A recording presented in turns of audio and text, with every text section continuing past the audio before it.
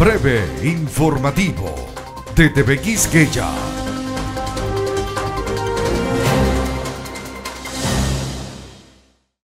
Irish Sheriff, conocido como el Parisi, joven trabajador de la cadena Papa Jones, murió baleado en la cabeza fuera de su casa en el condado del Bronx. La víctima tenía 29 años, era nativo de Marruecos y hablaba varios idiomas, incluido el español. El Farisi recibió un disparo fatal en la cabeza la madrugada de ayer durante un aparente atraco fuera de su casa. Según fuentes policiales, acababa de estacionar su auto fuera de su apartamento al este de la calle 176 en Crotona Park después de agotar su turno de repartidor cuando fue atracado por un pistolero junto antes de las 3 de la madrugada, reportaron las autoridades. Es toda la información que tenemos por el momento. Rafael Díaz les informó.